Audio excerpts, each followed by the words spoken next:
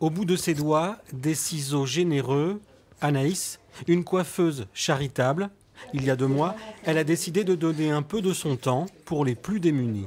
Ce qui me plaît, c'est faire plaisir aux gens qui ressortent avec le sourire, contents.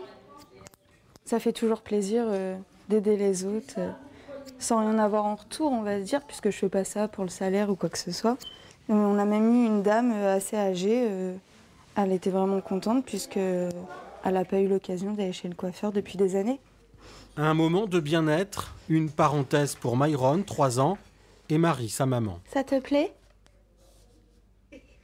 Pour des gens qui n'ont pas les moyens de, de payer le coiffeur, moi je pense que c'est un bon geste qu'ils ont fait et puis euh, pour les enfants aussi. Ah, Mais Ron, t'aimes bien te faire coiffer? Ce salon, installé dans un petit coin des locaux du Secours populaire d'Angoulême, n'a rien à envier aux autres.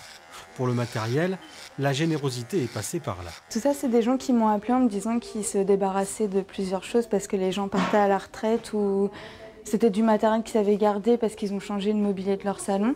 On a tout ce qu'il faut, on a les bacs, on a les postes de coiffage, on a les produits. euh, La générosité a été assez importante. Oui, oui, oui, très importante. On s'attendait pas du tout à ça. Ici, seules les personnes suivies par l'association peuvent être coiffées.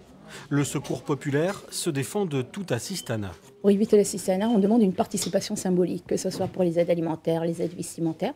Par contre, les personnes qui sont sans ressources, bien sûr, ne donnent rien, mais toutes celles qui ont un minimum de ressources, on demande une participation symbolique. Ça va être 2 euros, 3 euros. Je crois qu'ici, maximum, c'est 5 euros. Anaïs est coiffeuse professionnelle à Angoulême.